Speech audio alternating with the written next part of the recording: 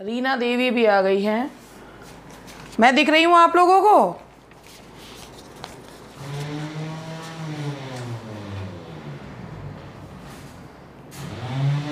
Good evening good evening Preeti good evening Barkha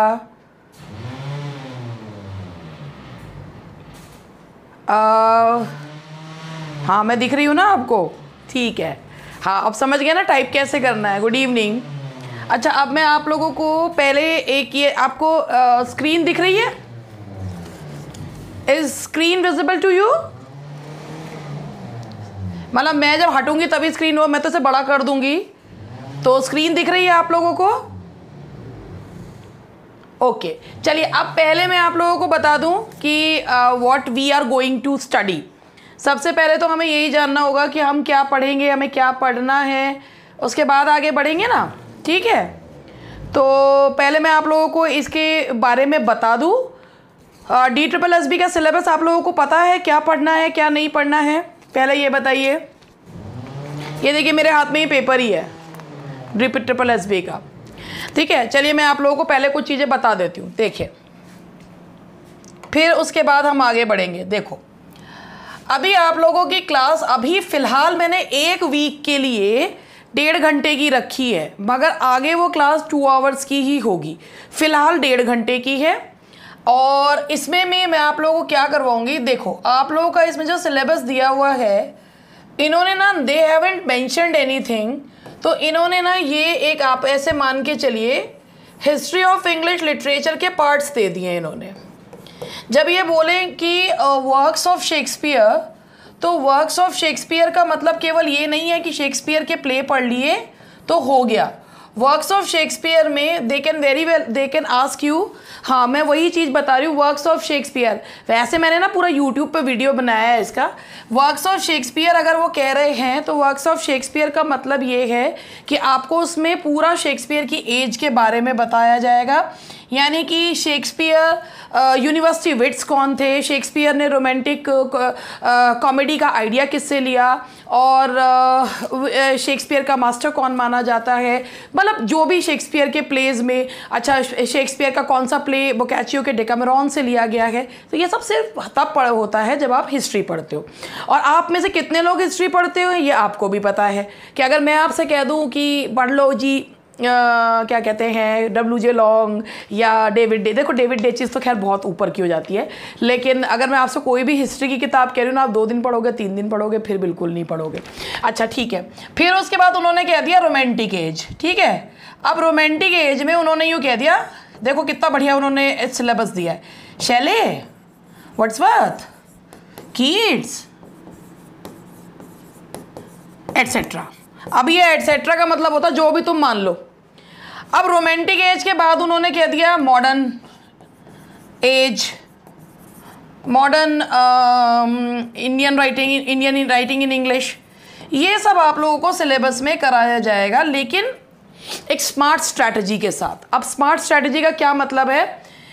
जैसे मैं आज आप लोगों के लिए स्टार्ट कर रही हूँ लिटरेचर अब आपके दो लेक्चर्स होंगे। एक लिटरेचर का होगा, एक ग्रामर का होगा।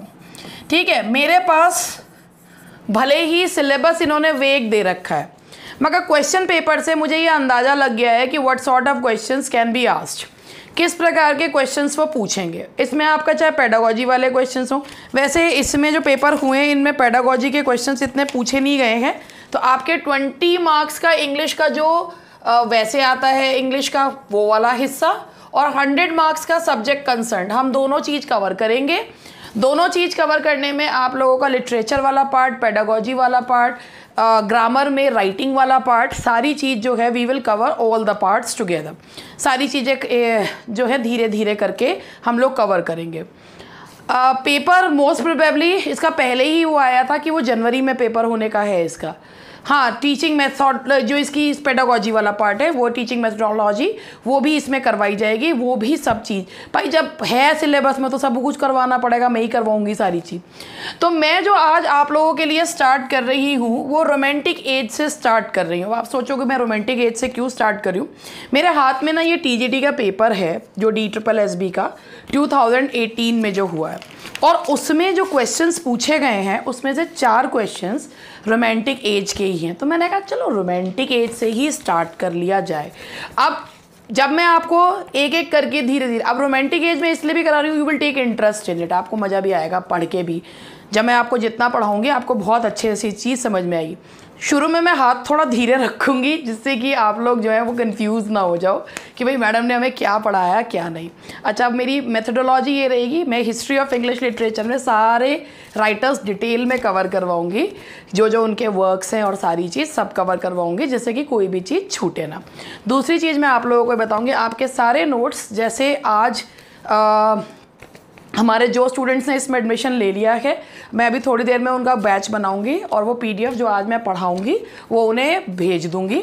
अब ये उनके ऊपर है कि वो प्रिंट आउट निकलवाएँ या वो उसको जो है लिखें जैसा भी करें। वैसे प्रिंट आउट निकलवा लें तो ज़्यादा सही रहेगा। तो मैं उनको ये पीडीएफ साथ के साथ आपको पीडीएफ भेजी जाएगी। नहीं मैं Ayushi please don't teach tell me कि what should I teach and what I should not मुझे बहुत अच्छे से पता है मुझे क्या पढ़ाना है और क्या नहीं पढ़ाना है ठीक है? तो इसीलिए मैं uh, अब जो है मैं पढ़ाऊँगी तो मुझे मालूम है। अब आप लोगों को बुक्स के बारे में भी बता देना। धीरे धीरे करके एक बात सुनिए। इसमें से कुछ स्टूडेंट्स ऐसे हैं जिन्होंने विदाउट डेमो एडमिशन लिया है। ये वो हैं जिन्होंने मुझ पर विश्वास करके लिया है। I don't need to say again and again कि मैं क्या हूँ, कैसी हूँ, क्या पढ़ाती हूँ, ठीक है?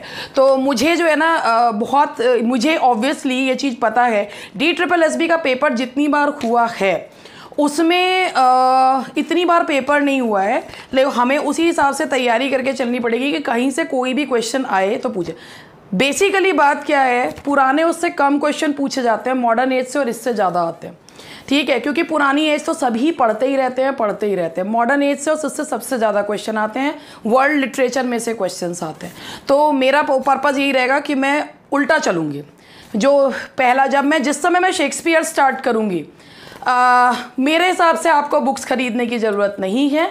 क्योंकि मैं आपको इतना मटेरियल दे दूँगी कि आपकी तैयारी हो जाएगी। बुक्स परचेज़ करने की आपको ज़रूरत नहीं पड़ेगी। जहाँ ज़रूरत पड़ेगी, वहाँ मैं आपको बोल दूँगी। लेकिन अगर मैंने आपसे कहा है कि आई सेंड यू पी तो इट मीन्स कि मैं आप लोगों का उससे काम चल जाएगा। अब आपको मन करेगी हमें ख़रीदनी है। तो आप ख़रीद लो भैया। लेकिन एक चीज़ मैं आपको बता रही हूँ डी ट्रिपल एस बी की कोई भी एक पूरी मार्केट में ऐसे किताबें अवेलेबल नहीं हैं। और जो किताबें अवेलेबल हैं, जिनमें ये कह रखा कि ये डी ट्रिपल एस बी किताबें हैं, उसमें सिर्फ़ U P T G T P G T का सिलेबस है और कुछ नहीं है। उसमें डी ट्रिपल एस बी का कुछ भी नहीं है। उसमें दो चार दो चार क्वेश्चन दे रखे हैं कि डी ट्रिपल एस बी में ये पूछा गया है। लेकिन उसमें पूरी एक किताब जो बाकायदा डी ट्रिपल एस बी के लिए, जैसे U P T G T P G T की आती हैं ऐसी कोई किताब नहीं है। पूरा मार्केट मैंने भी छान रखा है।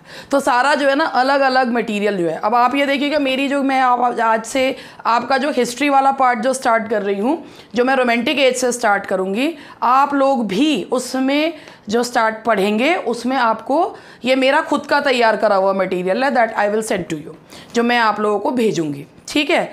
अब ग्रामर के लिए भी मैं आप लोगों को बताऊँगी। ग्रामर के लिए मैं ज़रूर आपसे कहूँगी एक प्रैक्टिस बुक खरीदने के लिए। बाकी करवाऊँगी तो सारा उसमें मैं भी। लिटरेचर में और वैसे उसमें आपको कोई चीज़ खरीदने की ऐसा आवश्यकता नहीं पड़ेगी। ठीक है? क्योंकि जब क्वेश्चन आयर्स हैं, ये क्वेश्चन पेपर थे तीन चार तो क्वेश्चन पेपर ही हैं। क्या करोगे? तो इतने तो मैं ही आप लोगों को दे दूँगी कि आप लोग कर लोगे। एनी अदर क्वेश्चन तो अगर अगर क्वेश्चन हो तो बता। और मैं ना उल्टा रोमांटिक एज से स्टार्ट करूँगी। रोमांटिक एज के बाद मैं विक्टोरियन या मॉडर्न एज उसमें लूँगी। उसके बाद मैं उल्टा मैं उल्टा ऐसे ही चलूँगी। पहले मैं रोमांटिक एज से लग ले रही हूँ। क्योंकि मैंने तीन पेपर एनालाइज करे हैं तीनों पेपर में रोमांटिक एज से चार चार क्वेश्चन पूछे गए हैं। दैट्स वाई मैंने सोचा रोमांटिक एज से ही स्टार्ट करा जाए। आ, अभी मैंने कहा ना कि अभी तो इसी समय रहेगा और वैसे भी रीना आ, मेरा शेड्यूल बहुत हैक्टिक है। तो जो मेरे पास समय है उसी हिसाब से मैं उस टाइम को एडजस्ट कर पाऊँगी। किसी को किसी समय समय चाहिए, किसी को किसी समय। और वैसे भी ये जो क्लासेस है ना, ये लाइव चलने के बाद थोड़ी देर बाद रिकॉर्ड हो रिकॉर्डेड फॉर्मेट में डल जाती हैं। तो आप अपनी सुविधा अनुसार उसे कभी भी उसको देख सकते हैं। तो आप वो देख लीजिए क्योंकि हम टाइमिंग्स जो है ना लाइव क्लासेस में भी अगर हम ऑफलाइन की तरह टाइमिंग्स को देखेंगे तो नहीं हो पाएगा ना। ऐसा नहीं हो सकता। लाइव क्लासेस को अगर आप उसमें कर पाएँगे तो आप देख लीजिए क्योंकि ये तो रिकॉर्डेड उसमें भी जो है वो पढ़ा जाता है। इससे पहले भी मेरी क्लासेस चलती हैं, सुबह भी मेरी क्लासेस चलती हैं और अगर मैं दोपहर में रखूँगी ग्यारह, साढ़े ग्यारह बजे तो कभी किसी को स्कूल जाना है, कुछ जाना है तो वो नहीं हो पाएगा। लिटरेरी क्रिटिसिज्म इसमें नहीं है, इसमें उन्होंने लिटरेरी टर्म्स हैं, वो करवाई जाएँगी। Literary criticism they have nowhere mentioned literary criticism इसमें नहीं है। और वैसे भी लिटरेरी क्रिटिसिज्म जो होता है, वो अब बिट वो उसमें होता है। वो पीजीटी के पेपर में तो है, इसमें नहीं है टीजीटी में नहीं है। वो पीजीटी के पेपर में होगा, वो इसमें नहीं है। लिटरेरी टर्म्स ज़रूर करवाए जाएँगे। मैंने आपको बताया कि क्या क्या इसमें करवाया जाएगा। इसमें करवाया जाएगा आपको पूरा जितनी भी एजेस हैं एजेस यानी कि सारा एजेस के बारे में, उसके अलावा एजेस में राइटर्स आते हैं राइटर्स पूरे कवर करवाए जाएँगे। अभी यही इसमें करवाया जाएगा लिटरेचर एजेस प्लस राइटर्स करवाए जाएँगे। इसमें आपको इंडियन राइटिंग भी कराई जाएगी अमेरिकन भी है और वर्ल्ड लिटरेचर भी है। तो सारी चीज़ करवानी है भाई टाइम बहुत लगता है। तो ये उसमें है और इसके अलावा इसमें जो लिटरेरी टर्म्स हैं दैट विल बी कवर्ड ये सारी चीज़ें इसमें कवर कराई जाएँगी।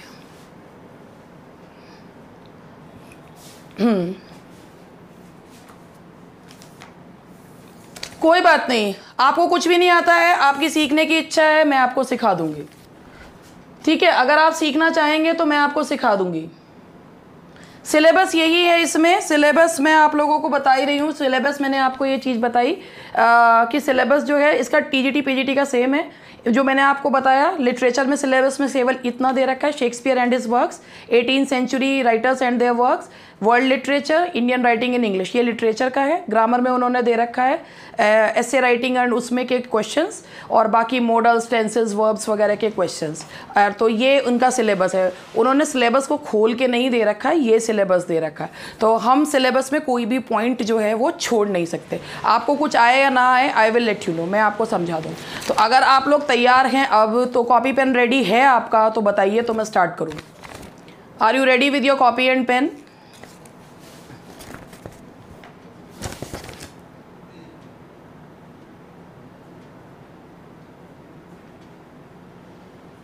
ready ठीक है, चलिए स्टार्ट करते हैं। देखिए।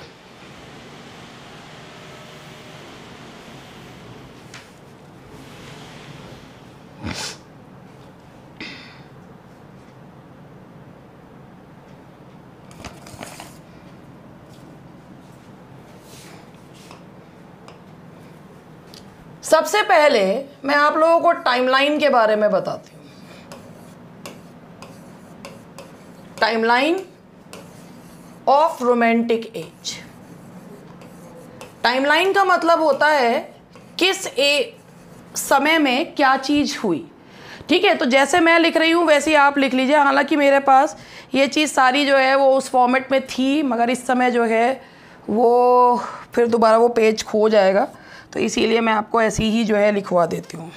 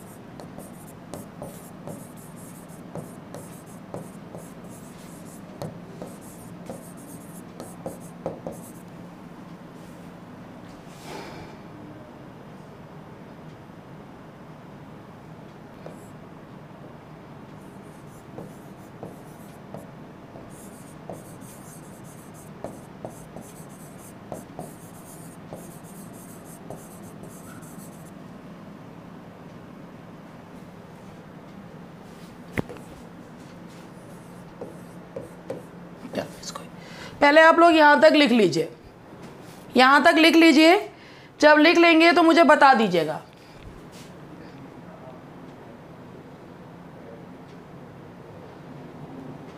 जब लिख लें तो डन बता, लिख दीजिएगा। ठीक है?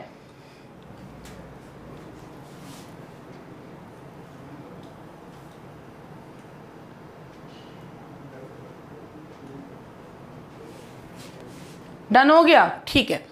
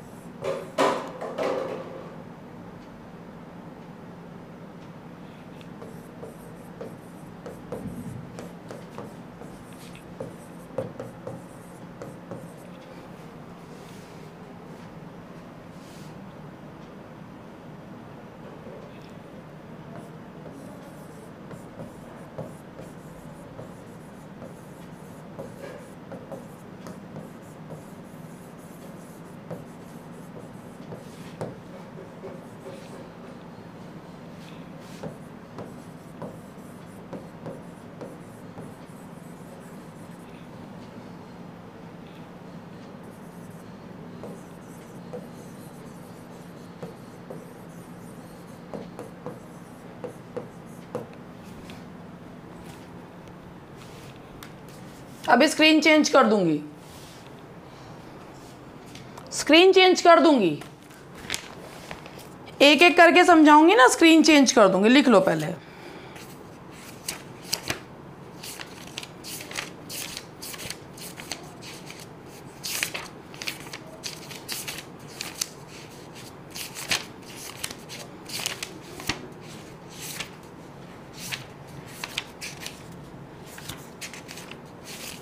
जब यहाँ तक लिख लो तो मुझे बता देना।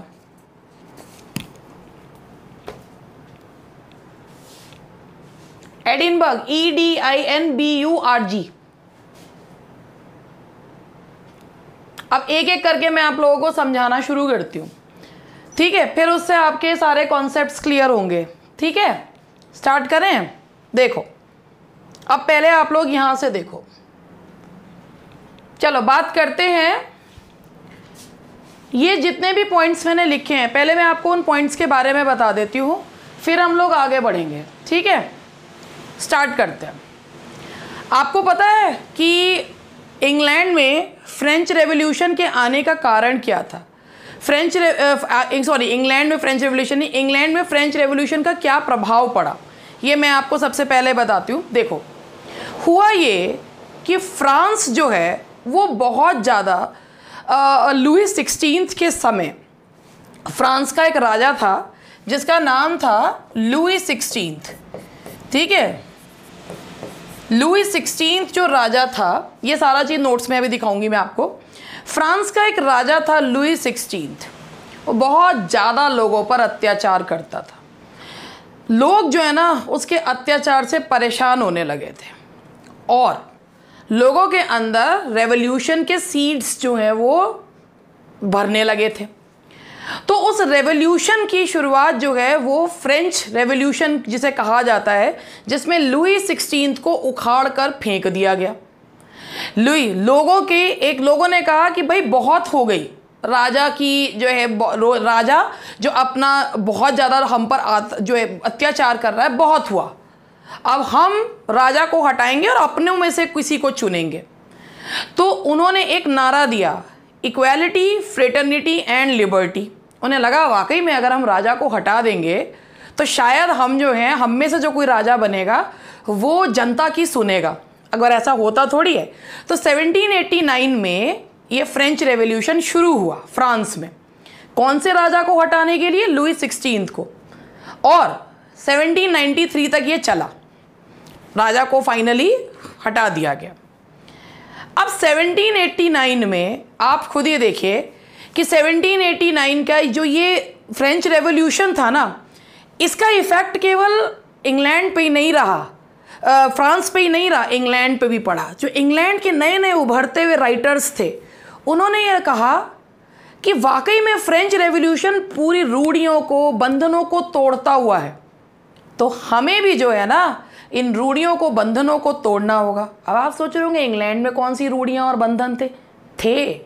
रोमांटिक एज से जस्ट पहले जो एज थी, वो थी नियो क्लासिकल एज यानी कि नई क्लासिकल एज जिसमें पोप जिसका रिप्रेजेंटेटिव पोएट था। और जो ये नियो क्लासिकल एज थी ना, ये बड़े ही, जैसे कहना चाहिए शो ऑफ़ करने वाले पोएट्स थे। ये मानते थे भाई, कविता का कंटेंट कुछ भी हो, सजावट बहुत बढ़िया होनी चाहिए। यानी कि ये शो ऑफ़ पे यकीन करने वाले पोएट्स थे। तो जो शुरुआत के फ्रांस, ये जो पोएट्स थे, वर्ड्सवर्थ, विलियम ब्लेक, इन्होंने कहा, हम ना इस, इनको नहीं मानेंगे। हमें इन कन्वेंशंस को तोड़ना है। हम तो साधारण चीज़ के बारे में लिखेंगे, रूढ़ियों को तोड़ेंगे।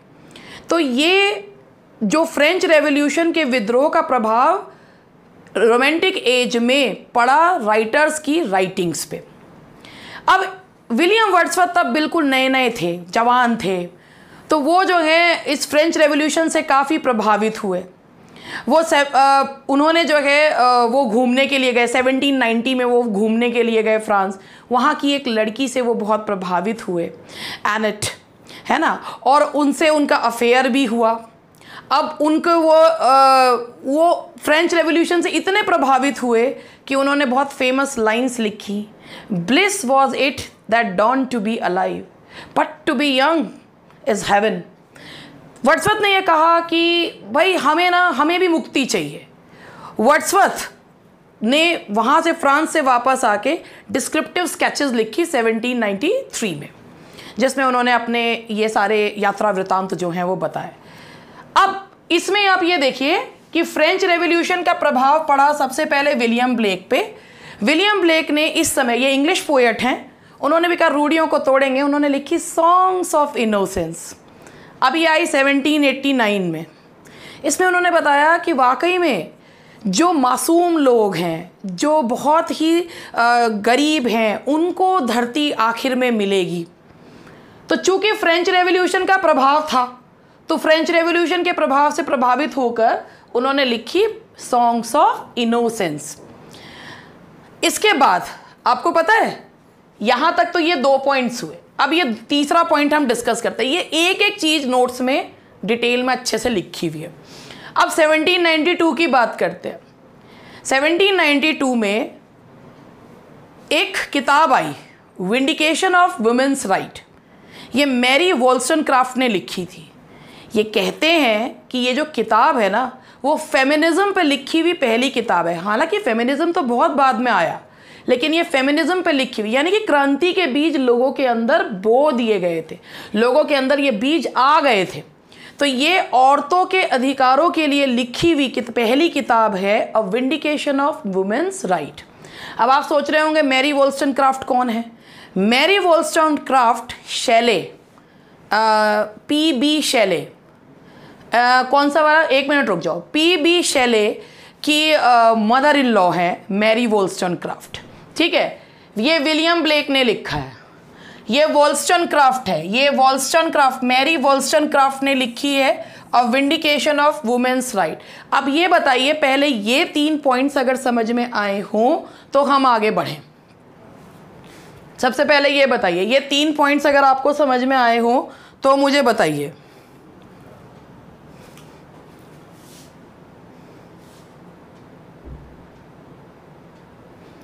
फ्रेंच रेवोल्यूशन कब हुआ? फ्रेंच रेवोल्यूशन से कौन प्रभावित था? विलियम ब्लेक ने लिखी सॉन्ग्स ऑफ़ इनोसेंस। हाँ जी, ये अगर ये तीन, भाई प्रीति ने तो लिख दिया है, बाकी लोग भी बता दीजिए, अगर ये पॉइंट समझ में आए, नहीं आए। बार बार अगर आप इस चीज़ को पढ़ेंगे तभी, क्योंकि ये क्वेश्चन अभी मैं आपको इसमें कौन से क्वेश्चन पूछे गए हैं, वही आपको बता दूँगी। अब चलो बात करते हैं 1794 में। ये थे विलियम गॉडविन। इन्होंने एक किताब लिखी है हाँ लास्ट में ये ये वाला बताऊँगा, अभी बताती हूँ। विलियम गॉडविन ने एक किताब लिखी है, पॉलिटिकल जस्टिस। ठीक है, पॉलिटिकल जस्टिस के बारे में हम बात करते हैं। गॉडविन जो है ना, वो एक एक क्वेश्चन यही है पॉलिटिकल जस्टिस आपको पता है पॉलिटिकल क्या आपने इस किताब का नाम सुना है पॉलिटिकल जस्टिस का? Do you know anything about political justice इससे कौन कौन प्रभावित था? क्या आप जानते हैं? रोमांटिक एज के कौन कौन से राइटर्स पॉलिटिकल जस्टिस से प्रभावित थे? बताइए। ये बिटवीन द लाइंस क्वेश्चंस होते हैं। पॉलिटिकल जस्टिस किसने लिखी? है तो साधारण है। विलियम गॉडविन ने। ये बताइए पॉलिटिकल जस्टिस से कौन कौन प्रभावित था? तो अभी तो शुरुआत कर रही हूँ तो थोड़ा हल्का हाथ रख के ही चल रही हूँ। धीरे धीरे आप लोगों को ऊपर तक पहुँचाऊँगी इसमें फ्रॉम द बेसिक्स टू अब मैं आपको बताती हूँ। देखिए, विलियम वर्ड्सवर्थ का नाम सुना है? विलियम वर्ड्सवर्थ का नाम तो सुना है? या नहीं सुना? विलियम वर्ड्सवर्थ का नाम तो सुना है? पी बी शैले का नाम सुना है? पी बी शैले का नाम सुना है? है ना? तो अब इनके बारे में देखो। हाँ। चलिए बात करते हैं विलियम गॉडविन की।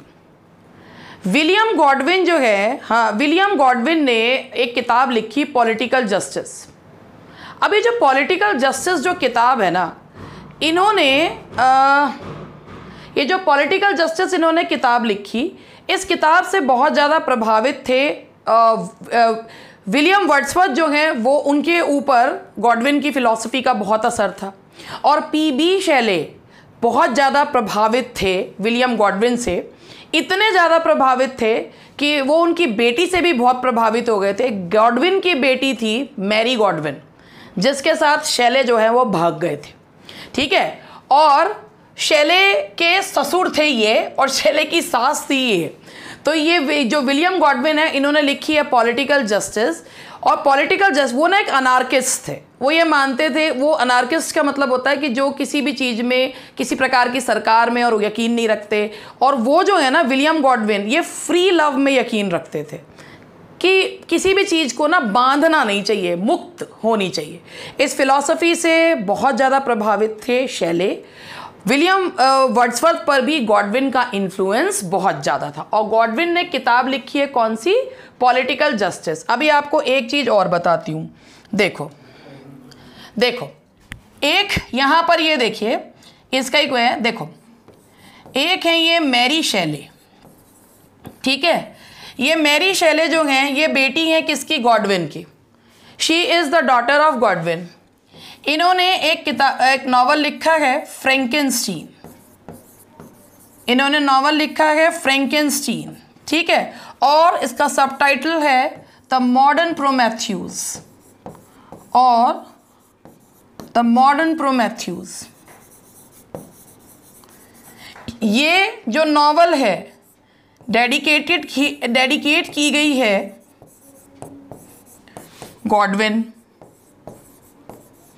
और ये जो नावल है, इसका प्रीफेस लिखा है पी बी शैले ने।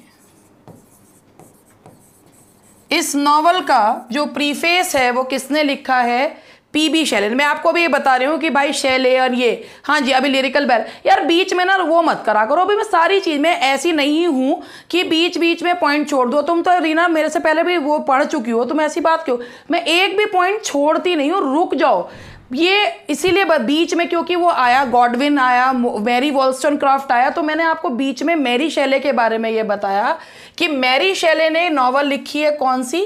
फ्रेंकेंस्टीन फ्रेंकेंस्टीन या इसी का ही सबटाइटल है द मॉडर्न प्रोमैथ्यूज ये किसको डेडिकेट करी है? अपने फादर गॉडविन को और इसका प्रीफेस लिखा है पी बी शैले ने. अगर एक बात बताऊँ, कभी भी किसी भी चीज़ को समझने के लिए ना अच्छे से समझने के लिए प्रॉपर ध्यान लगाना बहुत ज़रूरी होता है। क्योंकि मैं उन टीचर्स में, मेरे पास इस समय काफ़ी सारे स्टूडेंट्स दूसरे बैचेस में पढ़ रहे हैं तो मैं हमेशा हर एक के से ये कहती हूँ, अगर किसी चीज़ को समझना है ना तो बहुत ध्यान से जो मैं कह रही हूँ, उस चीज़ को समझो। क्योंकि अगर ये, आप ये चीज़ पढ़ रहे हो, भाई देखो, मैं आपके साफ़ साफ़ कह रही हूँ, मेरे पास ये पेपर है, और इस पेपर में, ये देखिए ये क्वेश्चन है, मैं आपको क्वेश्चन ही पढ़ के बता देती हूँ। एक क्वेश्चन ये है कि ये क्वेश्चन है Frankenstein is a novel written by ये question 2018 D triple S B T G T का पूछा हुआ है। बताओ किसने लिखा है फ्रेंकिनस्टीन हु रॉट फ्रेंकिनस्टीन किसने लिखा है?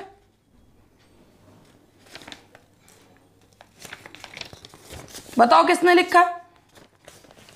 मैरी शैले अब क्वेश्चन इसी में से पूछती हूँ। चलो। इसी में से क्वेश्चन पूछती हूँ। Mary Shelley is the daughter of Mary Shelley is the daughter of Mary Shelley is the daughter of Godwin बिल्कुल सही। Yes Mary Shelley is the daughter of Godwin and Frankenstein is dedicated to Frankenstein is dedicated to Godwin है ना? फ्रेंकेनस्टीन तो एक से सारे points हो गए, नहीं हो गए? एक क्वेश्चन हो गया? है ना? यस गॉडविन उनके पिताजी हैं, वो और इसमें। अब चलो, बात करते हैं। हो गए ना? यहाँ तक। अब आगे बात करते हैं। अब Wordsworth was very much influenced by the French revolution Wordsworth ने लिरिकल बैलेट्स लिखी सत्रह में वर्ड्सवर्थ ने लिखी लिरिकल बैलेट्स। ठीक है, सत्रह में वर्ड्सवर्थ ने जो ये लिरिकल बैलेट्स लिखी, आप इसके बारे में देखिए। ये जो लिरिकल बैलेट्स आया ये लिरिकल बैलेट्स जो है, इसमें 23 पोएम्स देर आर 23 पोएम्स और ये जो है, एक कोलैबोरेटेड एफर्ट है। That's a collaborated effort collaborated effort का मतलब है दो लोगों ने मिलके लिखा है। किस किस ने? William Wordsworth and S T Coleridge ठीक है जी? इसमें 19 पोएम्स वर्ड्सवर्थ की है।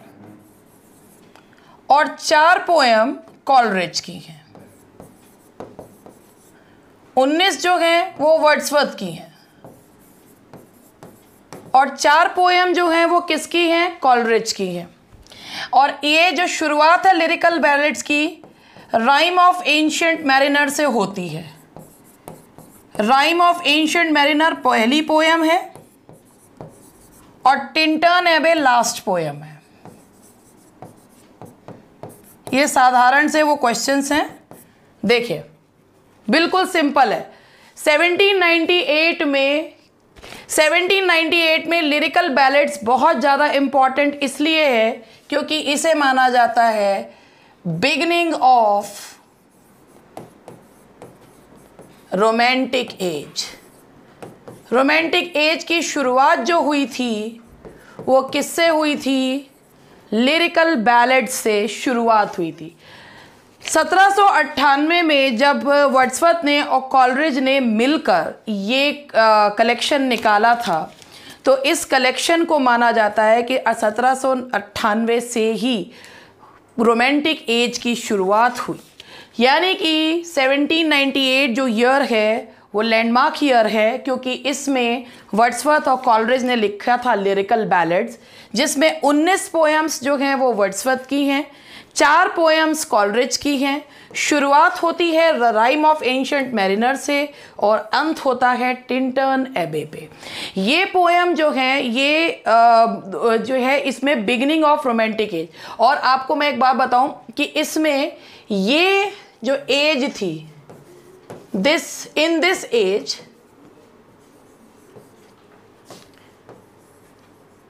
lyrics were dominant इस एज में सबसे ज़्यादा जो मज़बूत चीज़, सबसे ज़्यादा जो लिखे गए, वो क्या लिखे गए हैं? गाने। लिरिक लिखे गए तो मैं आपको फिर दोबारा से सत्रह सौ अट्ठानवे के बारे में बता देती हूँ। सत्रह सौ अट्ठानवे से शुरुआत मानी जाती है रोमांटिक एज की, क्योंकि सत्रह सौ अट्ठानवे में लिरिकल बैलेट्स आया, जिसमें 23 पोएम्स हैं 19 वर्ड्सवर्थ की, चार कॉलरिज की। शुरुआत होती है राइम ऑफ़ एंशंट मैरिनर से और अंत होता है टिंटर्न एबे से। बताइए अब बताओ, ये वाला पूरा जो मैंने लिखा, कोई भी पॉइंट छोड़ा तो नहीं भैया? यहाँ तक सब समझा दिया?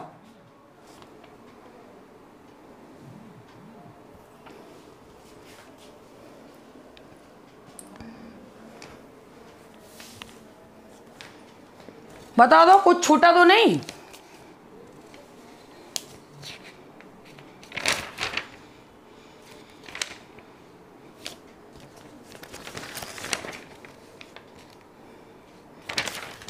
हम्म यहाँ तक सब ये नोट कर लेना भाई, ये भी सारा, ठीक है?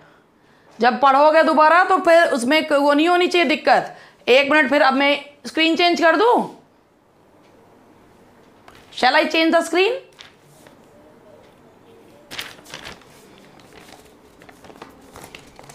अभी टाइपिंग में थोड़ा सा दिक्कत आ रही होगी। तो वैसे धीरे धीरे आप लोग जो पढ़ेंगे, वो परफेक्ट हो जाएँगे।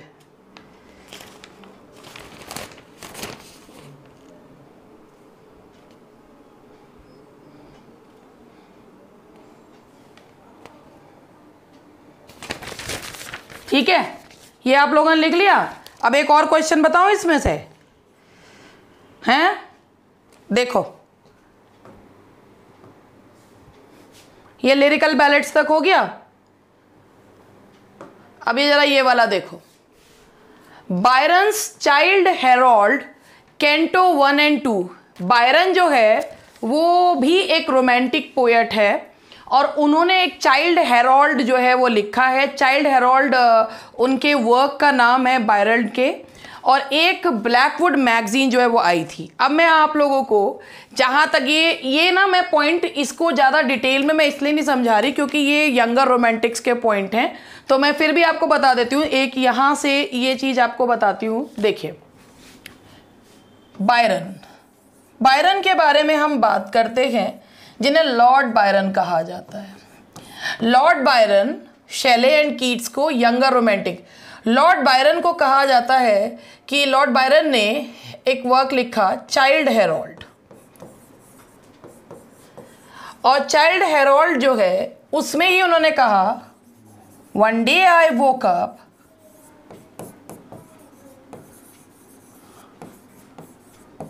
and found myself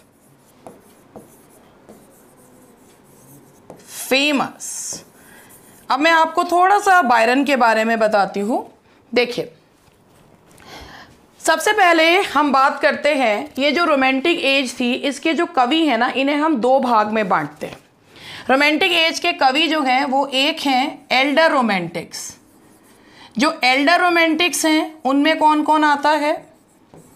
Elder romantics में आते हैं Wordsworth Coleridge and Southey.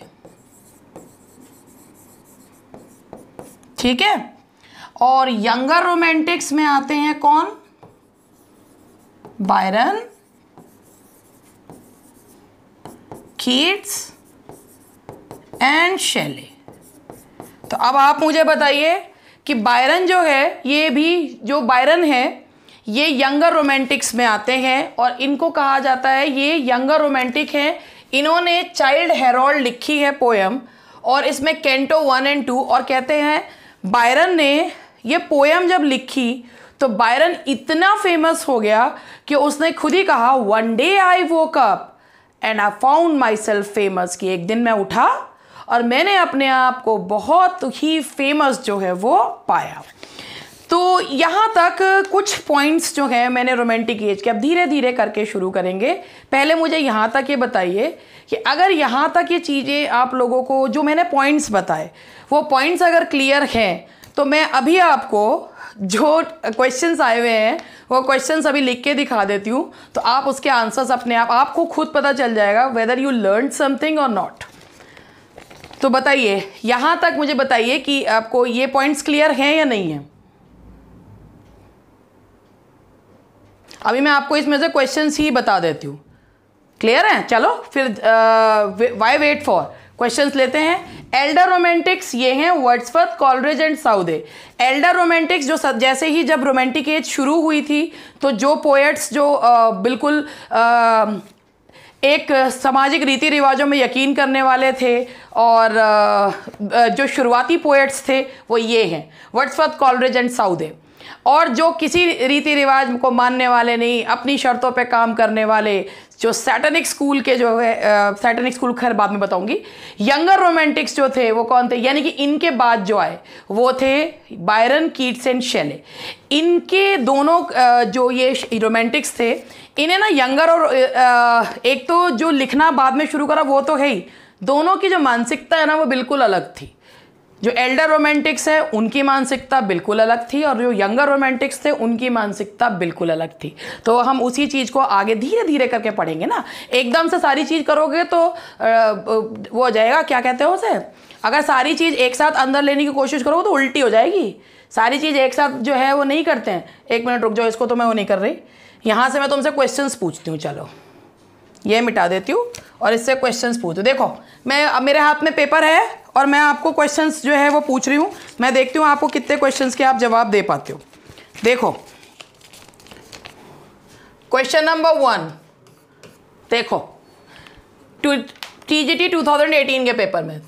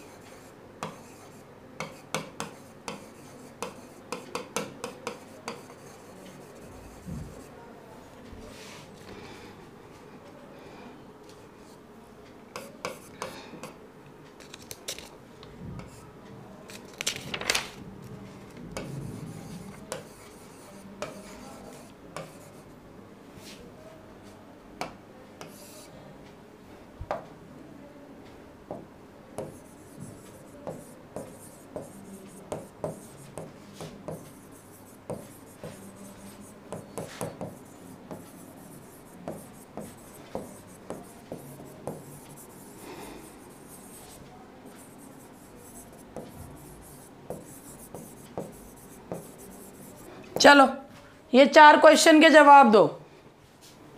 Childe Harold is one of the best work of one of the best work of आएगा। हाँ जी, बताइए। क्वेश्चन कर एक एक करके जब, बिल्कुल very good Preeti. Childe Harold is one of the best work of बिल्कुल सही। पहले क्वेश्चन का जवाब क्या आएगा? Yes that is Lord Byron next question who wrote Frankenstein is a novel by Mary Shelley पहले लिख दिया है। Yes that's by Mary Shelley and the next question is who wrote the rime of the ancient mariner rime of ancient mariner किसने लिखी? अभी मैंने आपको बताया था कि उसमें से चार पोएम्स जो हैं तो चार पोएम जो कॉलरेज ने लिखी है। ये जो पोएम है उन्नीस पोएम्स जो है वर्ड्सवर्थ की हैं और शुरुआत होती है उसमें। और ये जो है the rime of ancient mariner लिखी है, ये किसमें पाई है? लिरिकल बैलेट्स में, और ये लिखी है कॉलरेज ने एस टी कॉलरेज ने। This poem is written by S T Coleridge ठीक है? वर्ड्सवर्थ ने नहीं लिखी है कॉलरेज ने लिखी है। This poem is written by S T Coleridge the next question who said one day I woke up and found myself famous ये किसने कहा है? Who said one day I woke up and found myself famous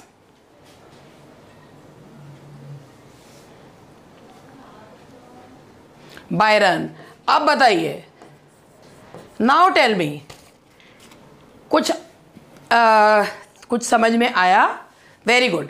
अब यहाँ तक क्योंकि आज एक शुरुआत है ज़रूरत से ज़्यादा ठूसेंगे तो ख़त्म हो जाए। देखिए जो ये लिरिकल बैलेड्स है जिसकी शुरुआत जो है the rime of ancient mariner से हुई है वो lyrical ballads rime of ancient mariner S T Coleridge की लिखी हुई है। और जो टिंटन एबे है वो वर्ड्सवर्थ की लिखी हुई है।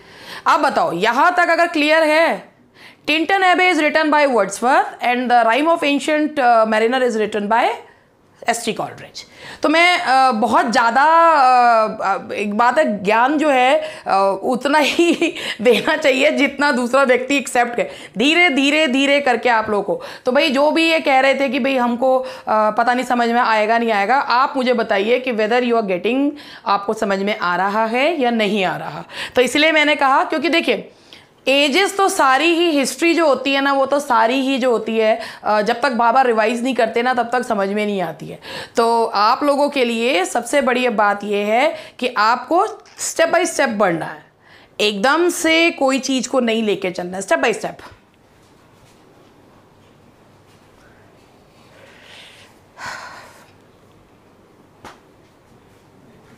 हाँ जी, कुछ फीडबैक दीजिए, बताइए। एक और चीज़ कहूँगी। बरखा, ओके मैम मत लिखना। यस मैम लिखो, जी मैम लिखो, मगर ओके मैम मत लिखो। टीचर को ओके नहीं कहा जाता, ठीक है? तो ओके मत लिखना यस मैम लिखो, मुझे अच्छा लगेगा।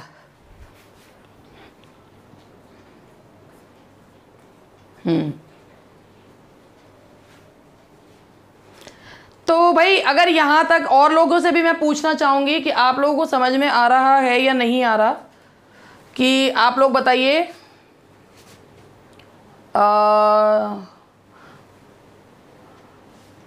Ma'am I got the content of today's class very well Preeti, तुम ये कह रही थी कि भाई मुझे कुछ नहीं आता। अब ये बताओ, अब तो नहीं कहोगी मुझे कुछ नहीं आता? ठीक है, चलिए, अभी मिलते हैं थोड़ी देर में ग्रामर के लेक्चर में मिलते हैं। पाँच मिनट का ब्रेक आप भी लीजिए, मैं भी लेती हूँ, उसके बाद मिलते हैं दूसरे लेक्चर में। हैं? दूसरे बैच में ग्रामर के बैच का अब नोटिफिकेशन आएगा आप लोगों को। ठीक है? चलो मिलते हैं अभी थोड़ी देर में।